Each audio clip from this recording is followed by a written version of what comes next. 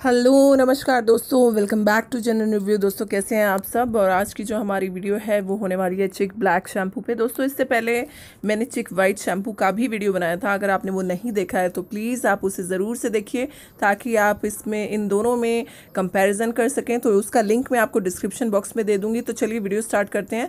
तो आज की वीडियो दोस्तों, होने वाली है ब्लैक चिक शैम्पू पर और मैंने आपको कहा था कि ब्लैक चिक शैम्पू पर भी मैं आपको वीडियो ज़रूर बना के दूँगी। तो आ, दोस्तों सबसे पहली बात तो ये है कि इसमें एग नहीं है और ये यानी कि जो वेजिटेरियन लोग हैं जो एग वाला नहीं यूज़ करना चाहते वो ज़रूर से यूज़ करना चाहते हैं। इसके मेन इंग्रेडिएंट दोस्तों आंवला और बादाम है, जो ख़ास इसके सबसे स्पेशल इंग्रेडिएंट्स हैं। और जो ये शैम्पू है लॉन्ग एंड थिक हेयर के लिए है। अगर आप चाहते हैं कि आपके बाल ज़्यादा लॉन्ग हो थिक हो तो आप ये शैम्पू ज़रूर से यूज़ कर सकते हैं। इस समय मेरे हाथ में दोस्तों फिफ्टी पैसे वाला पाउच है और फिफ्टी पैसे में भी काफ़ी अच्छी फोर ग्राम की क्वान्टिटी आ जाती है। दोस्तों वीडियो को और आगे बढ़ाने से पहले मैं आपसे यही कहना चाहूँगी कि जेन्यन रिव्यू को ज़रूर से सब्सक्राइब कर लीजिए। अगर आप पहली बार आए हैं तो भी सब्सक्राइब कर लीजिए। नोटिफिकेशन बेल को भी ऑन कर लीजिए। और अगर आप मुझसे कुछ पर्सनली में पूछना चाहते हैं बातें करना चाहते हैं तो आप मेरा फेसबुक पेज भी सब्सक्राइब कर सकते हैं फॉलो कर सकते हैं, उसका लिंक भी मैं आपको डिस्क्रिप्शन बॉक्स में दे दूँगी। तो चलिए दोस्तों वीडियो आगे जारी रखते हैं। तो दोस्तों, पूरा इसका नाम क्या है? इसका नाम है चिक हेयर फॉल प्रिवेंट, यानी कि अगर आपके बाल बहुत ज़्यादा झड़ रहे हैं, टूट रहे हैं रूखे सूखे बेजान हो रहे हैं तो आप इसे डेफिनेटली यूज़ कर सकते हैं। और सबसे अच्छी बात दोस्तों, इसके जो इंग्रेडिएंट्स हैं, कुछ हद तक काफ़ी नेचुरल इंग्रेडिएंट्स है और 50 पैसे में 4 ग्राम की आपको काफ़ी ज़्यादा क्वांटिटी मिल जाती है।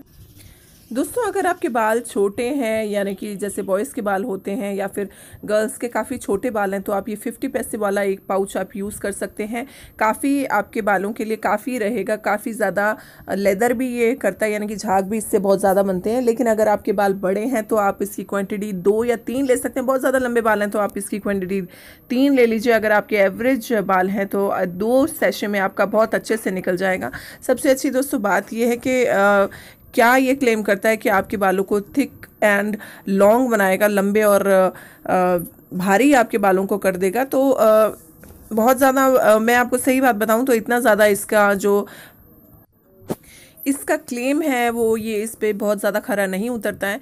हालाँकि किसी भी शैम्पू को आप बहुत ज़्यादा लंबे समय तक यूज़ करेंगे, तभी आपको उसकी पूरी पूरी जितने भी क्लेम्स हैं वो सही में पता चलेंगे। तो बहुत ज़्यादा मैं आपको पहले ही कह दूँ कि आप सोचेंगे बहुत ज़्यादा लॉन्ग थिक बाल हो जाएँगे आपके तो ऐसा कुछ नहीं है। एक रेगुलर शैम्पू के तौर पे काफ़ी अच्छा शैम्पू आप इसे डेफिनेटली यूज़ कर सकते हैं। दोस्तों, आने वाली वीडियो में मैं आपके लिए ब्लैक और वाइट चिक शैम्पू का कंपैरिजन भी लेके आऊँगी कि इन दोनों में से कौन सा बेस्ट है। फ़िलहाल तो मैं आपको आज ब्लैक शैम्पू के बारे में ही बता रही हूँ। एक और चीज़ दोस्तों मैं बता देना चाहती हूँ, अगर आप डेली शैम्पू यूज़ करते हैं तो आप डेली शैम्पू प्लीज़ यूज़ मत करिए। अगर आप कोई नेचुरल शैम्पू यूज़ करते हैं तो आप उसे डेली यूज़ कर सकते हैं, लेकिन अगर आप चिक को यूज़ कर रहे हैं तो हफ़्ते में अगर आप तीन बार अपना सर धोते हैं या दो बार अपना वॉश करते हैं हेयर्स को तो वो मैक्सिमम है, आप इस शैम्पू को दो से तीन बार यूज़ कर सकते हैं। इससे ज़्यादा अगर आप किसी भी केमिकल बेस्ड शैम्पू से अपने बाल धोएँगे तो उससे आपके बालों को नुकसान होगा। मेनली नुकसान में यही होगा दोस्तों, टूटेंगे, झड़ेंगे और रूखे आपके बाल हो जाएँगे, स्कैल्प आपकी रूखी हो जाएगी। तो हफ़्ते में दो से तीन बार आप इसे बिल्कुल यूज़ कर सकते हैं। आने वाली वीडियो को देखना बिल्कुल मत भूलिए। इन दोनों का कंपेरिजन होगा। ये वीडियो देखने के लिए बहुत बहुत शुक्रिया दोस्तों। और फिर यहाँ दोस्तों, जाने से पहले मैं यही कहना चाहूँगी प्लीज़ जेन्यून रिव्यू को सब्सक्राइब कीजिए लाइक कीजिए शेयर कीजिए कमेंट कीजिए और नोटिफिकेशन बेल को भी दबाना बिल्कुल मत भूलिए।